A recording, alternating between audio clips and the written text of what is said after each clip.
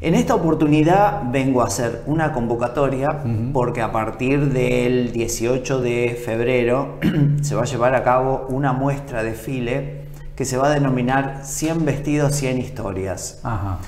Encierra la historia del vestido de novia.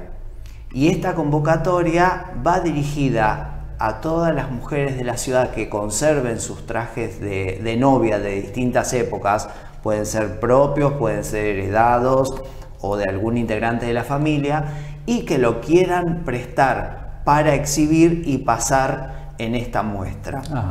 Vos sabés que cada uno de los, de los eventos que yo realizo buscan un fin solidario o beneficiario. En este momento lo que estamos haciendo es trabajar en la puesta en valor de la capilla Nuestra Señora de Luján, que forma parte, bueno, de lo que es el patrimonio de la ciudad de Junín. ¿Que está ahí en el barrio? Eh, no, ya oh. sería Padre Respuela, porque ah, es, está en, Brasil, exacto. Brasil y Sapiola. Mm.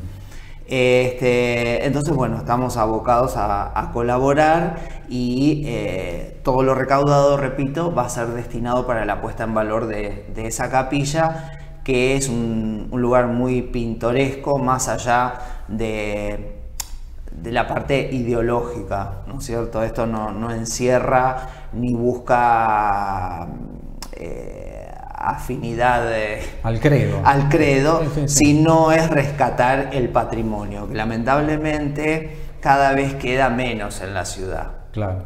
Bueno, Entonces, ese, es el objetivo. Ahora bien, eh, los vestidos tienen que estar en buenas condiciones. Exacto, sí, sí. Los, los vestidos, no importa que estén amarillos con el paso del tiempo, perdón, porque es propio de las telas o de las fibras naturales que se oxiden. Igual se, blanquea con algo. sí, se puede blanquear, eh, pero básicamente que la pieza esté entera, que no esté rajada, que no esté rota, que no, le falte algún, algún tramo.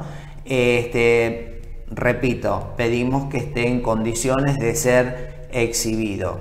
También damos la posibilidad, si alguna integrante joven de la familia quiere pasar ese vestido, lo puede hacer tranquilamente. También. Sí. Claro, bueno, una buena propuesta. Entonces, esto va a ser en febrero. Esto va a ser en febrero. Quiero destacar el apoyo de Dirección de Cultura.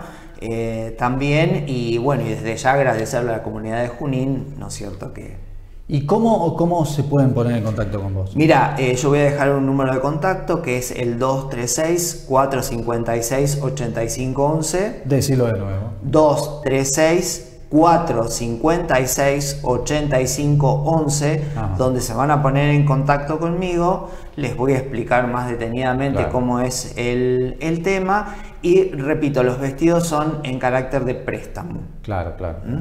Obviamente. Eh, sí, porque bueno si bien yo tengo vestidos de, mi colección de distintas épocas, pero bueno, ahora es eh, darle la posibilidad a que la comunidad participe directamente en esta muestra. Por ahí te lo quieren ceder también. Sí, eso queda a criterio, a criterio de, cada uno, ¿no es cierto? Pero eh, básicamente se destaca que es en carácter de préstamo y, y bueno, y que todos le demos una mano Perfecto. Hecha la propuesta entonces, el número de teléfono ahí está en pantalla. 2364 56 85 11 se comunican con Fabio y ahí dicen, bueno, tengo el vestido de la abuela o mío o de quien sea en buenas condiciones y se lo prestan para y obviamente después lo van a ver desfilar sí, sí, sí, sí, a beneficio. ¿eh? Exacto.